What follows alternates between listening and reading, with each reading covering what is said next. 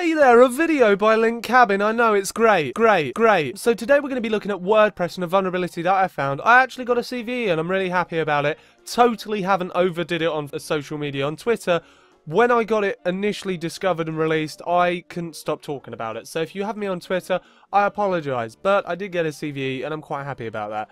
Um, so the reason why I chose uh, WordPress is because obviously it's used by millions of sites. It's an interesting content management system that a lot of people use, even governments. And so I thought, hey, what's the worst that could happen? Now, I'm not here to go, oh, this is so shocking, this security, we've got to get rid of it, because we're past that point, and that's not what this video is about. It's about the technical aspects of the cryptography of WordPress in a certain feature.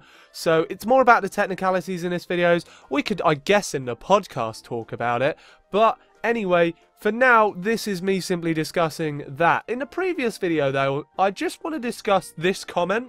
Didn't really think I'd see that in my YouTube channel. Not upset by it, just a bit confused and scared, I think's the word that I could put. I, you know, I when I first initially saw that, I was a little bit taken aback. I'm not, I'm not used to, yeah, that was, it was different. I had a different day. It, yeah. So this is a vulnerability in and why, why did I do this? Well, um, I was doing some work for the the Insignia, the the security company I currently work for, um, and I was having a look at WordPress and seeing the actual default installation. And I see default because obviously you have to enable multi-site, but as in uh, you, you you don't need to have a plugin to have a security vulnerability in that that sense of the word of default. Um, and so that is my decisions, I guess.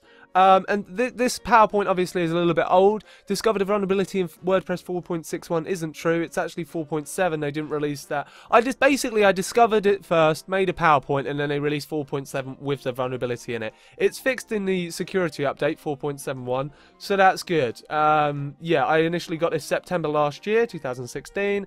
All good. Um, essentially, multi-site is where you can have multiple domains and sites and blogs into one place, which is great for people that have multiple blogs, multiple businesses, or you want to have um, multiple people in different areas but still have some central hub for you to be able to control them. That's great. Can be used for big organizations, like I say. Some really interesting features to it. Um, you can restrict user signups by email domain. That's really important in this vulnerability because it basically bypasses this. The vulnerability essentially allows for impersonation and also bypasses some restrictions if they're on on the features. Sounds pretty snazzy, sounds pretty jazzy, but actually it's a little bit boring. It's non-critical. That's how I described it in the blog post. It's non-critical because it is a vulnerability, but it's not as harsh as it seems. So, so the vulnerability steps would be to register with a whitelisted domain, and you could brute force this. So, essentially, what I'm saying here is that they have turned on the restriction for user signups, which is by email domain, and you could guess that it's the blog. If it isn't, then you can simply brute force or do some social engineering to find that out. That's the first part. While registering, take note of the time because time is important in this vulnerability. This is used to generate a token which we are going to be guessing. I basically said the vulnerability already, but anyway, generate different MD5 payloads for the activation key that we get, the token, and then, well, it's a key token, I'm saying the wrong words, but yeah, essentially the activation key gets sent to an email, doesn't it, for you to sign up.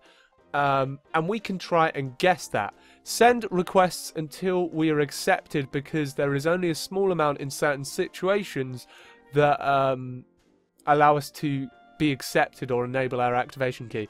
Now you may think, oh, an intrusion detection system might bring this up. What happens if we send multiple post requests on different pages with similar sort of uh, requests? So I'm basically shading away activation key brute forcing. So there's there's discussion over that as well. How is this really done? Because I've talked about it in a high level vulnerability steps, but what does it actually entail? Well, the key generation we is weak in the WordPress installation. It essentially, this is from the actual WordPress 4.61, which is exactly the same as 4.71.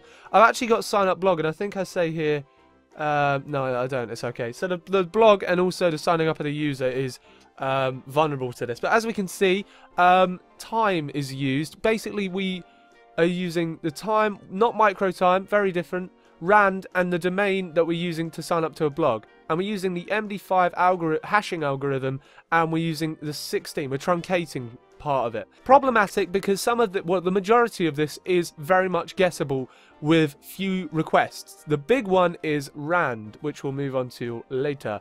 The interesting thing is the time is everyone will think, oh, well, what happens if the server is at a different time? Well, in the HTTP spec, you actually have to give the time, as we have seen here on the england.nhs, which I've decided to show here as an example. Um, you have to give the date in the HTTP spec. So there's always servers with that. Um, the vulnerability steps for RAND is quite interesting because this is obviously the hardest part to exploit because it has a wide range, or does it? Because Windows servers doesn't have that ability to have a wide range. It goes from 0 to 32,767. Um, so if you have an XAMPP server or you just have a server on Windows which has a WordPress installation, you don't get the same luxuries as a Linux installation. Now you may think, well that's fine, a lot of servers now just run on Linux, that's how it is. Well also Randis is on the PHP documentation found not to be safe in, in crypto sense, so it isn't the best of ideas for the WordPress development team to be using this in a cryptographic sense. Um, all of which the, the, lack of diversity in WordPress is a problem, and I think I can bring that into a different video because um, I have a lot to say about that. But in a summary, Rand, the function from PHP, is guessable in certain conditions. There is a lot of discussion over Rand. I, I mean, we could talk about it all bloody day, um, but I'm not going to. MD5 also shouldn't be used uh, for obvious reasons that I've talked about in this channel. Not a major thing though in this because they still do use MD5 in this. Um, and I do also discuss in my blog on this vulnerability that um, an interesting thing about MD5 being the default while the password generation um, hash the password hashing has a sort of um, flow of the best possible security to the uh, best compatibility. But um, if you want to read more, you can go onto my blog. It's jack.cc. Um, a lot of people have problems with me saying that and understanding that. Hopefully, people got that. Anyway, so yeah, Rand is obviously problematic at this. Uh, we can fairly guess this um, quite easily if we can identify it as a Windows server. As well, there's some discussion over Linux is essentially the summary there.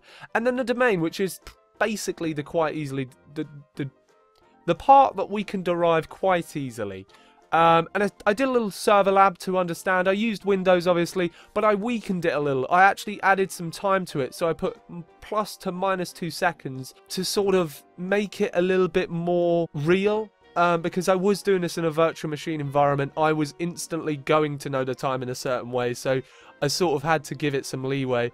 Uh, one test only required 14,000 requests for acceptance um, so if you had a DDoS, if you did a DDoS attack to evade or try and hide the obviousness of what you were trying to do, 14,000 requests really isn't that major in today's game of denial of service. And I've got it highlighted there. Obviously, it's actually 13,978 if any of you want the exact figures.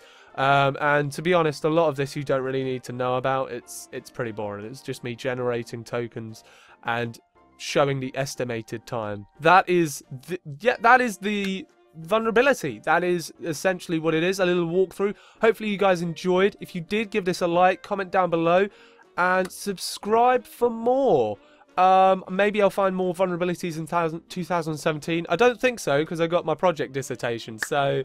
Um, probably not going to happen, but you know, plenty of interesting things happening in security nowadays, and hopefully I can provide more content once I leave university, um, because it is this year. Thank you for, guys for watching, and I'll see you guys in the next video.